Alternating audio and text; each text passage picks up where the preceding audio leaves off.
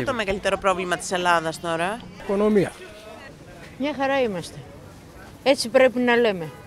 Το μεγαλύτερο πρόβλημα είναι της Ελλάδας που έχουν αρπάξει τα λεφτά και έχουν φύγει και έχουν μείνει στεγνοί. Όλα, όλα σε πρόβλημα είναι, δεν είναι αναρρυθμισμένο. Όλα είναι σε, προ- σε πρόβλημα. Μας τα πήραν όλα και μας ξεβρακώσανε. Αυτό να σου πω. Τα πήραν, πιστεύετε, από την Οβάρτης και από τη Siemens και από όλα; Ε, επιτρέψτε μου να έχω μια εικόνα για αυτό το θέμα. Για, σε ό,τι αφορά την Νοβάρτης. Έτσι, δεν θέλω να πω περισσότερα. Ότι έχω μια εικόνα. Λόγω ότι το ήμουν εργαζόμενος στο Υπουργείο Ιστό Υγείας, έχω μια εικόνα. Άρα πιστεύετε ότι κάτι γινόταν. Ε, αυτό αναμφισβήτητα. Εγώ δεν μπορώ να πω ότι τελικά με τους προηγούμενους τρώγαμε χρυσάβι, αλλά περνούσαμε καλύτερα. Εμείς γιατί να μας κόψει το Πασόκ 100 ευρώ από τη σύνταξη και τέτοια.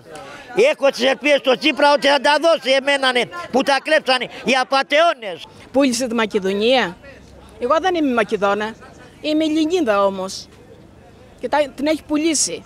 Αυτοί καλά ζουν και πηγαίνουν. Να έρθει η πετραλιά, να της δώσω πετραλιά. Δεν λέει, να της δώσω εγώ τα 500 να πάει στη, στη Χαλκίδα να, να, να πάνε και ένα ούζο.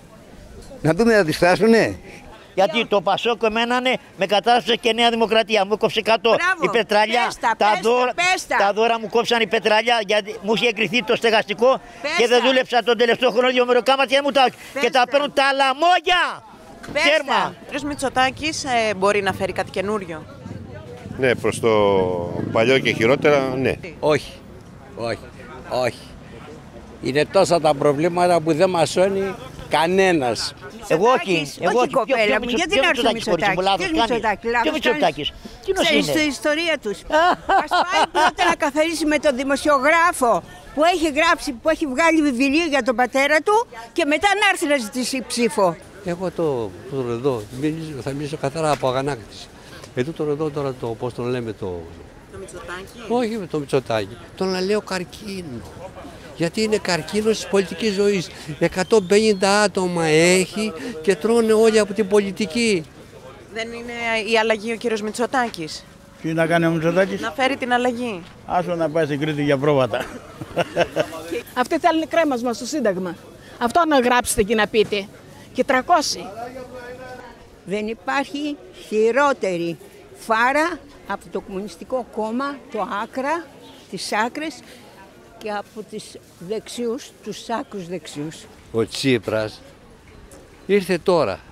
Οι άλλοι που ήταν από προχθές τι κάνανε και γιατί μας έρχονται και μας κουνάνε το χέρι και τα ξεχάσανε και λένε τώρα για να τα ακούνε οι μικροί 17 χρονών ότι δεν μας έκοψαν τη σύνταξη και το, το δώρο και το ένα και το άλλο και τα λένε ότι θα, τα- θα, τα- την έκοψε ο Τσίπρας. Μπορεί να πήρε και αυτός, πήρε.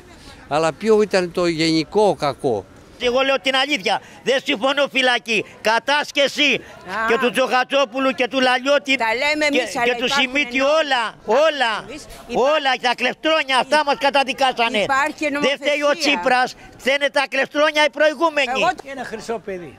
Ένας Καποδίστρας και δεύτερος ο Τσίπρας.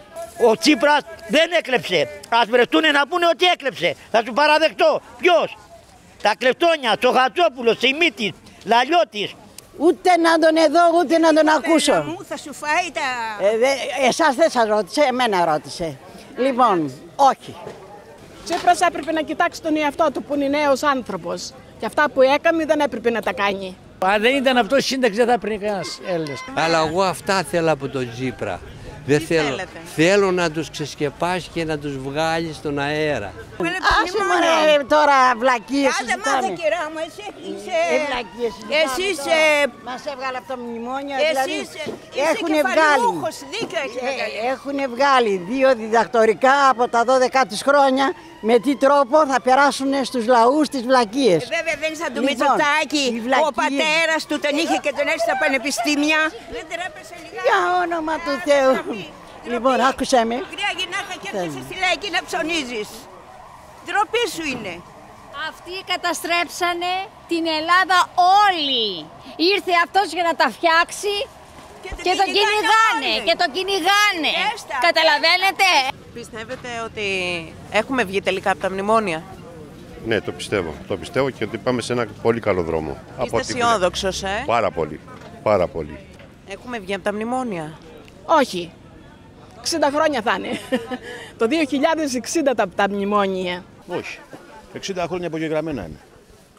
Έτσι. Ξέρετε τι είναι το κοινάλ, έχετε καταλάβει; Το κοινάλ, επειδή σε εγώ ήμουνα και θα το πω, δεν τρέπομαι να το πω, ότι ήμουν πολύ οργανωμένος μες στον χώρο του Πασόκ. Έτσι, σε συνδικαλισμό, σε πολλά και διάφορα. Έτσι. Μας κοροϊδεύανε, μας δουλεύαμε και θα, συγγνώμη για την έκφραση μου, τζώνω τον εαυτό μου που πήρα και τα παιδιά μου στο λαιμό μου. Εσείς που ήσασταν Πασόκος, τώρα θέλετε να μου πείτε τι είναι το κοινάλ. Ε, το, αυτή η φόφη. Η φόφη; Α, δεν είναι το παπάς ούτε για, εδώ για τη λαϊκή δεν έκανε. Κυρία Γεννηματά, ίσως είναι κάτι. Α, τα οικονομήσαμε τώρα. Τώρα τα οικονομήσαμε. Εντάξει, καλά είναι, καλά. Είναι το κόμμα που είναι η κυρία Γεννηματά, που έγινε μετά το Πασόκ. Να το που- ξεχάσουν. Α, το κίνημα αλλαγής θες να πεις. Ναι, ναι. Δεν υπάρχει, άκου να σου πω. Η αισιοδοξία ήταν να μην υπογράψουμε. Υπόγραψε κάποτε ο ΓΑΠ, να σου το πω αλλιώς. Εντάξει. Και μας πήρε όλους η μπάλα. Καλή δουλειά να έχετε. Πού είναι ο κύριος Παπανδρέου τώρα, ξέρετε; Κάπου θα περνάει καλά. Όταν εγώ πήγα πρώτη φορά να ψηφίσω, ρώτησα τη μάνα μου, τη συγχωρεμένη. Και λέω ρε μάνα, τι θα ψηφίσω; Αυτό θα το σκεφτείς μόνος σου. Εγώ σε πέντε χρόνια δέκα θα πεθάνω. Αυτό θα κοιτάξεις για το μέλλον σου. Αυτό ήταν. Ευχαριστώ πολύ.